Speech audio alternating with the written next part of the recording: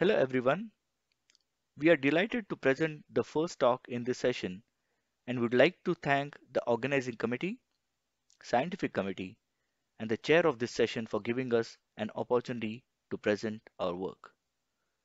I am Pratik Jagtap, Research Assistant Professor at the University of Minnesota and the co-lead on the Galaxy P team.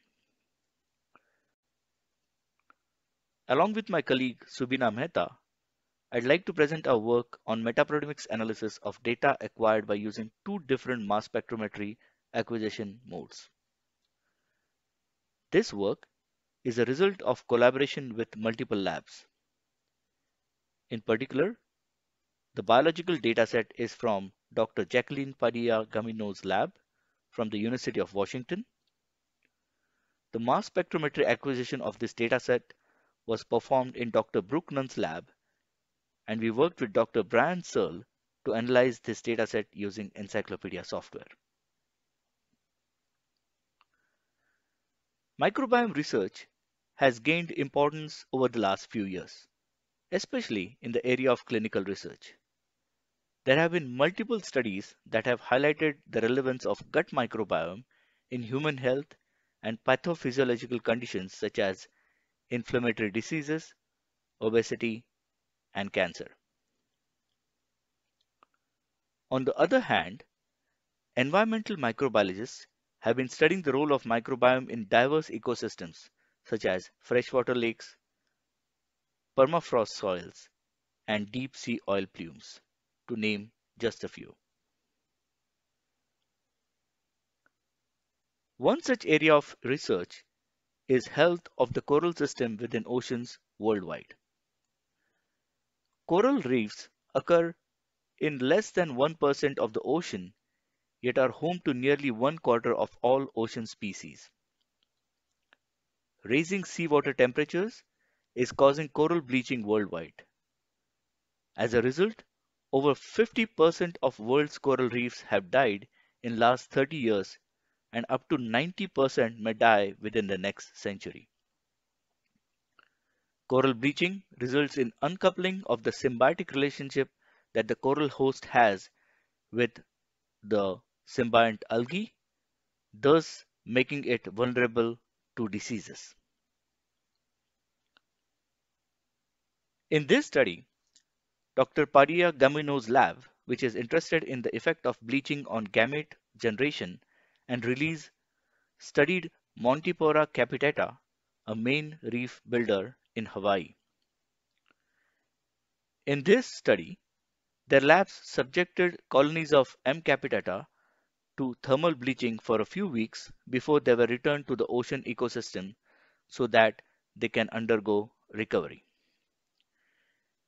In the June next year, on a new moon day, the corals spawn wherein egg sperm packets are released and they were collected.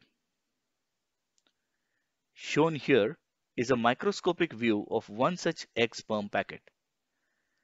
These egg sperm packets collected from bleached and coral control samples were subjected to proteomic sample preparation wherein they were digested and mass spectrometric data was acquired in two modes the data dependent acquisition mode and the data independent acquisition mode. These methods will be discussed later. The study of microbiomes uses various methods such as metagenomics, which measures the correlation of taxonomy with the phenotype using DNA sequencing data. Microbiome studies that use expression of microbial RNA and proteins such as metatranscriptomics and metaproteomics have an advantage in that it can measure microbial functions and thus help in understanding the mechanism by which the microbiome interacts or even interacts with its immediate ecosystem. In metaproteomics, which uses mass spectrometry, Proteins from the clinical sample or an environmental sample are digested using enzymes such as trypsin to generate peptides. These peptides are separated using high performance liquid chromatography and then ionized within the mass spectrometer. These ionized peptides are selected and analyzed for their intensity, retention times based on liquid chromatography conditions and mass to charge ratio, also called as M by Z ratio. Peptides with precursor intensities above the noise threshold are selected for fragmentation, thus generating tandem mass spectra, termed as the MSMS spectra. These MSMS spectra can be matched to peptide sequences in a database. This method of data acquisition is called data dependent acquisition or DDA. Although this approach is powerful, due to the stochastic nature of data acquisition during mass spectrometry, the mass spectrometer samples peptides for fragmentation with a bias towards those with the strongest signal. Thus, DDA presents a challenge in reproducibly quantifying low abundance peptides. If you see in this figure, for data independent acquisition mass spectrometry or DIA-MS, it continuously collects fragment ion intensities for all eluting peptides by using a wider isolation window such as 10 Daltons. The simultaneous isolation and fragmentation of multiple peptides results in a complex MS2 spectrum consisting of ions from all isolated peptides. As a result, data-independent acquisition provides broader dynamic range in quantification and improved reproducibility for identification and quantification, resulting in lesser missing values. Due to the complexity of the data, particularly ion information from multiple peptides, many bioinformatics approaches have been developed. One such software is the Encyclopedia software, which was developed in Mike MacCoss lab by Brian Searle. This software uses DIA acquisition using pooled gas phase fractionated samples and experimental samples along with the protein FASTA file as inputs. The protein FASTA file can be subjected to deep learning based ProSit software, which generates a predicted peptide library which predicts fragmentation as well as retention time amongst other features. The ProSit generated spectral library can serve as an input for encyclopedia software analysis. The software workflow generates a chromatogram library which is subsequently used as a template by the experimental DI data to offer an output of proteins and peptides and its associated quantitative data. The quantitative peptide information is later used by MetaQuantome software to generate statistical visualization outputs for biological interpretation. Attendees are recommended to visit the GTN sites for Encyclopedia and MetaQuantome software for a better understanding of its functioning. As part of this analysis, we started by generating a reduced database from a large database of over 7 million protein sequences that included the coral host, its symbionts, and other bacteria that have been shown or were detected in dataset to be associated with corals. To detect organisms within this sample, we used Compil 2.0 software developed at Scripps Institute along with literature survey. To reduce the database, we use Metanovo software that uses de novo tagging methods to detect possible proteins that are present in the sample. The compact reduced database was later used to search the DDA dataset against and this led to detection of about 15,000 to 16,000 peptides in bleached and controlled datasets respectively. The detected peptides were subjected to quantitative, functional, and taxonomic analysis so that the inputs can be used for metaquantome analysis. For DI data, ProSit generated spectral library along with FASTA file, the GPF data, and experimental data were used to detect peptides and their associated quantitation. As you can see here, DIA analysis detected fewer peptides and proteins as compared to the DDA data. At this point, I'll hand over the mic to Subina Mehta from the Galaxy P team, who will take you through the data analysis of this dataset. Thank you, Pratik. Hello all. This is Subina Mehta, and I'm going to go over the data analysis that we performed on the CORAL-X datasets using the Galaxy platform. As you can see, the results from both DIA and DDA workflows were a list of identified peptides along with their quantitative values. We decided to analyze the data with MetaQuantome to look at some statistically significant peptides present in the sample. We performed our analysis using MetaQuantome, which offers differential abundance analysis, principal component analysis, and clustered heat map visualizations across multiple experimental conditions. It is an open source tool, is available via command line, and also accessible via Galaxy platform for reproducible analysis. The three main inputs are peptide quantitation report, functional and taxonomic annotation. This is the flowchart of the DIA and DDA analysis that we performed via Galaxy. Just to recap, in DDA search, we use SearchGUI Peptide Shaker to perform database search and Flash LFQ for quantitation. In DIA, we use ProSit-based spectral library and encyclopedia to quantify and identify peptides. Both DIA and DDA peptides were subjected to UniPept and BLASTP for functional and taxonomic annotation. Finally, MetaQuantome enabled quantitative and statistical analysis and visualization of functional and taxonomic expression.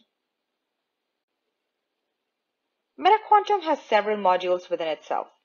The four required inputs are peptide intensity, taxonomic and functional annotation, metaquantome sample, and metaquantome databases.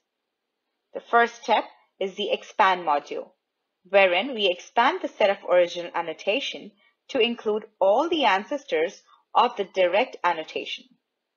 Next, we filter the peptides according to user-defined threshold. Next, we perform stat analysis. Lastly, visualization, wherein we get a bar chart, heat map, PCA plot, and volcano plot as the output. Let's go back and look at our data. We had peptides with quant values in both DDA and DIA. Given that there were lesser number of peptides from DIA analysis, we decided to look at the peptide overlap between DDA control and bleach sample with DIA output.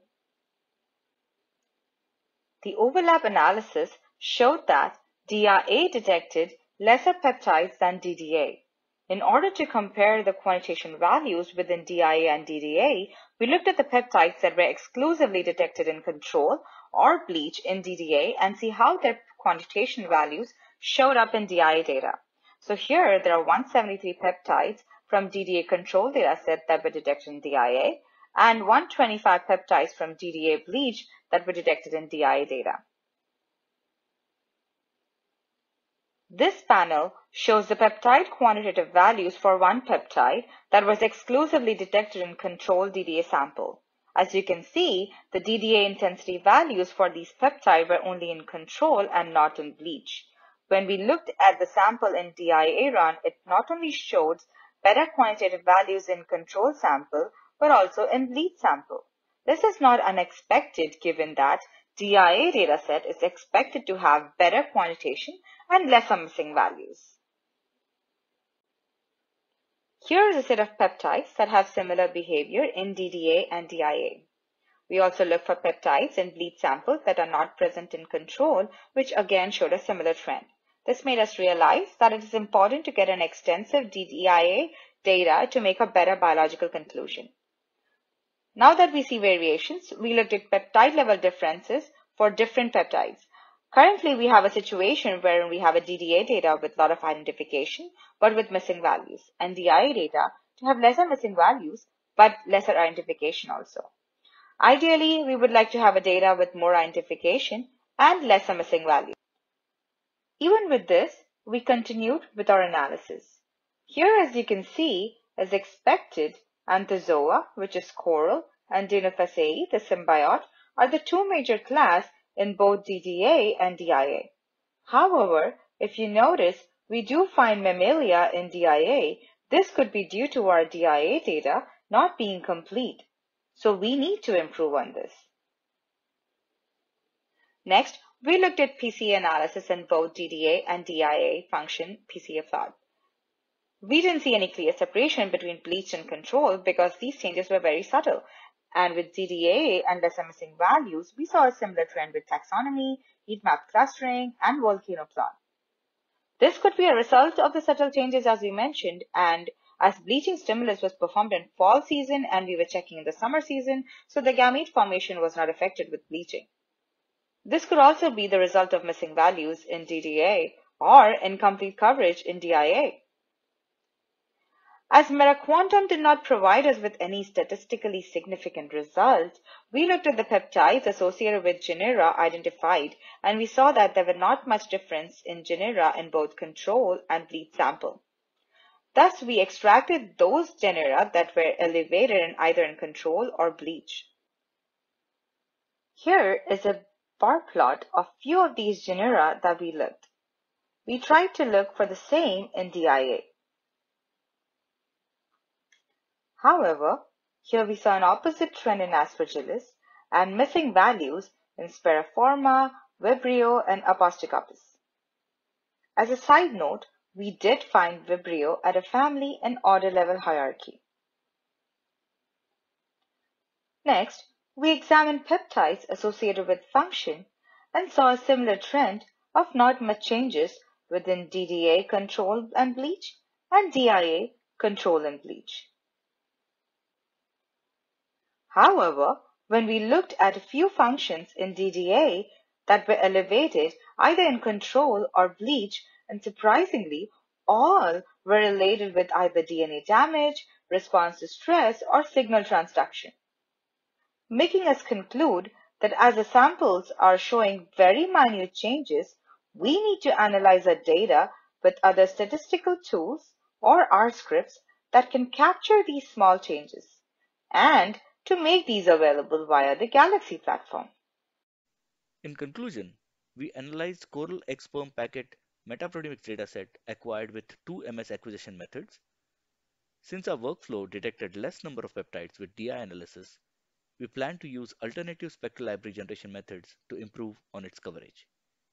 We believe that this will help us to detect differences within control and bleach samples. We plan to use alternative software tools to compare DDA and DI analysis. Lastly, we would like to acknowledge our collaborators and funding agencies. Apart from the co-authors on this talk, highlighted in blue, we would like to thank Peter Thuy from Scripps Research Institute. Thank you for listening and looking forward to your questions.